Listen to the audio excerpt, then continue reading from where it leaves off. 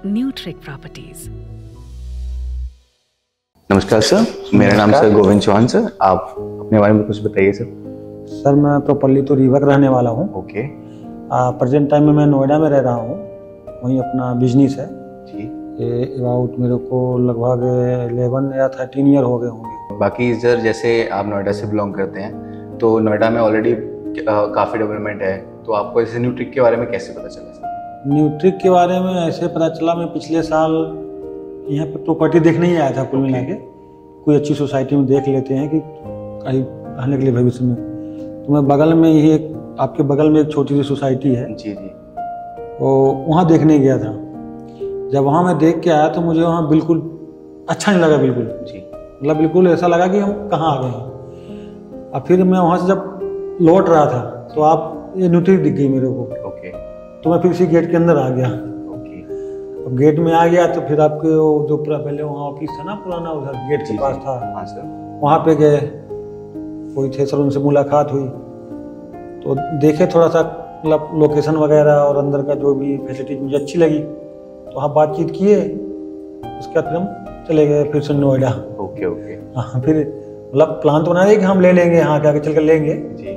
तो मतलब देखने में अच्छा लगा मेरे को तो मन में आया कि हम यहाँ ले लेते हैं भविष्य में हमें रहने के लिए अच्छा लगेगा अच्छा रहेगा। सर जैसे आप यहाँ से मैम आप यहाँ से देख के गए होंगे और भी प्रॉपर्टी पे फिर मैम मैम से आपने डिस्कशन किया होगा तो मैम का क्या पॉइंट था कि वो आप मैम ने भी कंपैरिजन किया हो ऑलरेडी मैम तो नोएडा से पूरा टाइम जहाँ से टाइम नोएडा में हुआ है।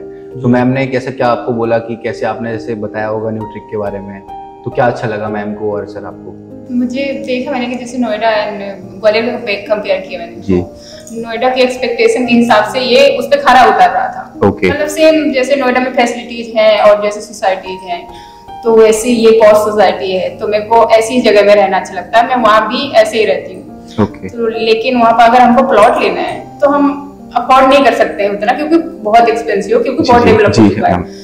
और यहाँ पर हमारे रिलेटिव्स भी रहते हैं तो इसीलिए हमने सोचा कि यहाँ पर इन्वेस्ट कर लेते हैं। ओके वैसी ही सोसाइटी में हमें नोएडा की तरह एनवायरमेंट मिल जाएगा। ओके और मैम मतलब आपको मेनली पॉइंट न्यूट्रिक में क्या अच्छे लगे थे? मतलब और भी बिल्डर्स थे जैसे आपने सोचा ग्वालियर में और भी बिल्डर्स हैं। तो आपने न्यूट्रिक को क्यों चूज़ किया? कि आपको क्या अच्छा लगा इसमें? First amenities and RERA approved है। जैसे फ्रॉड होने के चांसेस कम हैं। ओके सो यही मतलब उनका जो है ट्रस्टेबल है जैसे सुना तो फैसिलिटी है फैसिलिटी जी, सिक्योरिटी पर्पज है सब ए टू जेड मतलब फैसिलिटीज़ हैं जो हमें वहाँ मिल रही हैं। वो चीज़ हमें यहाँ लगी कि हाँ यहाँ पे हैं। तो इसलिए हम we can feel at home like Noida okay okay और मैम बाकी स्टाफ सर्विसेज़ वगैरह कैसी लगी? आपको कोई मतलब परचेसिंग में कोई दिक्कत डॉक्यूमेंटेशन वगैरह में कोई पार्ट में इशू आया होगा आपको? नहीं सब कुछ नहीं, इजी था हैंडी टू यूज़ था कुछ भी ज़्यादा। और सर आप भी अगर जैसे आप न्यूट्रिक में आपने परचेज किया अच्छा लगा आपको फिर रिफिल देना चाहेंगे सर? न्यूट्रिक में आप? बिल्कुल सर मैं तो जो भी हमारे यहाँ दोस्त हैं या रिलेटिव उनको हम प्रेफर करते हैं भाई यहाँ ले लो। जी जी। क्योंकि यहाँ पे क्या है फैसिलिटीज़ बहुत अच्छी लगी मेरे को यहाँ। तो इस कारण से हम बोलते हैं यहाँ पे ले लो फैसिलिटीज़ हैं और मतलब आपकी सेफ्टी है यहाँ रहने पे। हम कहीं भी चले जाएँ अपना मकान छोड़ के या बाहर हमें टेंशन नहीं रहेगा कि यहाँ पे हमारी कहीं चोरियाँ हो गई या कुछ हमारा नुकसान हो गया। तो वो सब यहाँ पे नहीं होगा। इसलिए हम करते हैं रेफर लोगों को कि भैया अगर आपको कहीं लेना ही है थोड़ा अपना बजट बनाओ अच्छी जगह पे लो जहाँ आपको लाइफ टाइम सेफ्टी मिलती हो। और सर इससे पहले आप जैसे आपने न्यूट्रिक से पहले और भी कहीं प्रॉपर्टी परचेज की होगी जी। तो आपने उसमें कंपैरिजन देखा होगा तो न्यूट्रिक को आपको उसमें और जो अदर कंपनी आप अदर प्रॉपर्टी अपने बाई की उसमें कोई डिफरेंस लगा आपको सर?